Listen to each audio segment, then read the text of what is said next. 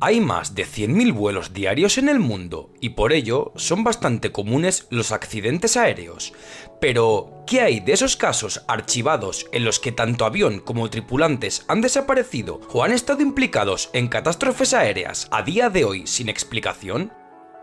Vamos pues con los 8 accidentes aéreos más misteriosos. Empecemos. Número 8 fue un modelo civil de avión de la versión del bombardero Lancaster de la Segunda Guerra Mundial, apodado Stardust. Y es que el 2 de agosto de 1947, dicho avión que viajaba bajo la compañía British South American Airways sobrevolaba la zona del glaciar del volcán Tupungato en los Andes argentinos, cuando de repente desapareció misteriosamente, no sin antes dejar un mensaje en Morse enviado a las 17.45. El mensaje decía Stendek. Son muchos los que han creado hipótesis sobre el significado de esta palabra, sin hallar respuesta alguna. En este vuelo se dieron por muertos sus cinco tripulantes y sus seis pasajeros. Número 7. El vuelo 800 de la aerolínea Transworld Airlines.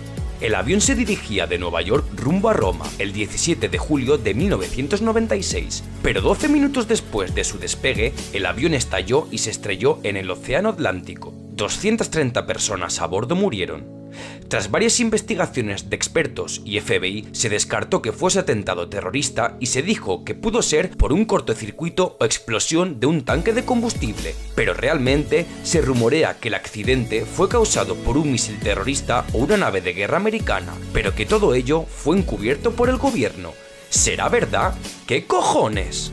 Número 6. En marzo de 1962, un avión con más de 90 pasajeros militares estadounidenses con destino a la guerra de Vietnam desapareció misteriosamente. Este fue el vuelo 739 de la aerolínea Flying Tiger. Estaba previsto que el avión parara a reponer combustible en Honolulu, Hawái, Guam y Filipinas, pero nunca llegó a destino. Misteriosamente, tras reponer en Guam, este desapareció fueron investigados más de 520.000 kilómetros cuadrados con un equipo de 1.300 personas. Tras no encontrar nada, todos sus tripulantes fueron dados presuntamente por muertos. Número 5. Amelia Earhart, aviadora estadounidense, quiso realizar el primer viaje en avión alrededor del mundo sobre la línea ecuatorial, o sea, el eje central de la Tierra. Amelia había sido muy famosa por ganarse varios premios de aviación, prestigio y pilotaje, pero desgraciadamente ese viaje sería el último. Consiguió cruzar todo Estados Unidos partiendo desde Los Ángeles, atravesando el Océano Atlántico, África, Asia y Australia. Pero al salir de nuevo hacia Estados Unidos cruzando el Océano Pacífico, la aeronave desapareció misteriosamente cerca de la isla Howland. Tras varias búsquedas intensivas, Amelia Earhart y su acompañante Fred Noonan fueron dados por muertos se construyó un faro en la isla Howland como homenaje a estos dos. Número 4. Fue el caso más catastrófico de la compañía de aerolíneas Germanwings, el caso del vuelo 9525.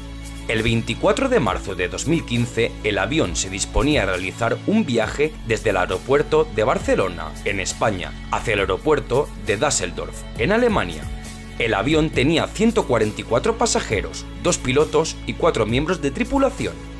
Todo ocurrió cuando sobrevolaban la zona de los Alpes franceses. El piloto aprovechó para ir al servicio y el ayudante, Andreas Lubitsch, bloqueó las puertas y estrelló deliberadamente el avión en las montañas francesas.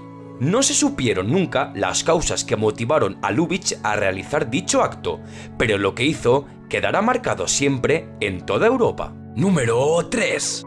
Kuala Lumpur, Malasia. El vuelo 370 se disponía a realizar una ruta aérea entre Malasia y China el 8 de marzo de 2014. Todo parecía ir correctamente, pero de repente, cuando el avión se disponía a sobrevolar las islas To Chau en Vietnam, este deja de contactar con la base y desaparece del radar oficial. Tras la búsqueda más larga de la historia de la aviación conocida, se encontraron restos del avión en costas de África y Australia. Desgraciadamente, los 227 pasajeros y sus 12 tripulantes murieron en dicho accidente, que a día de hoy no se saben las causas que lo desencadenaron. Número 2. Octubre de 1978. Frederick Valentich decidió viajar desde Melbourne hacia una isla de Tasmania, en Australia. Momentos después de despegar, Frederick alertó al aeropuerto sobre una aeronave que le perseguía. Los oficiales de la base descartaron que se tratase de una nave identificable, pues allí no había nada. Tras varios mensajes de Fred, tales como parece que intenta jugar conmigo o ha sobrevolado cerca mía varias veces, de repente el último mensaje que este dejó fue el objeto se encuentra sobre mí. No se trata de un avión y tiene un brillo luminoso muy potente. Tras esto, nunca más se volvió a tener noticias sobre Frederick Valentich y su avión nunca fue encontrado. Número 1. 5 de diciembre de 1945, base de Fort Lauderdale, Miami, Estados Unidos. Cinco aviones de tipo Grumman TBF Avenger iniciaron un vuelo hacia las Islas Gens para llevar material de entrenamiento. En la ruta debían cruzar el Triángulo de las Bermudas. Todo iba perfectamente para sus 14 tripulantes y su teniente Charles Carroll Taylor. Pero sobre las 14 horas, varias llamadas por parte del teniente de la operación llegaron a base, tales como que las brújulas fallaban y estaban perdiendo la noción del tiempo. Todo ello mientras sobrevolaban el Triángulo de las Bermudas. Tras esto, nada se supo de los 5 aviones, los 14 tripulantes y el teniente Charles. Todo ello originó el primer caso de desaparición en el Triángulo de las Bermudas. Con ello inició la famosa leyenda oscura del lugar. Esto ha sido todo. Se agradecería mucho un like. Comparte el vídeo con tus amigos y como siempre digo, ¿qué temas te gustaría ver en el canal? Proponme los tuyos, los leeré todos y cada uno de ellos. Un fuerte abrazo.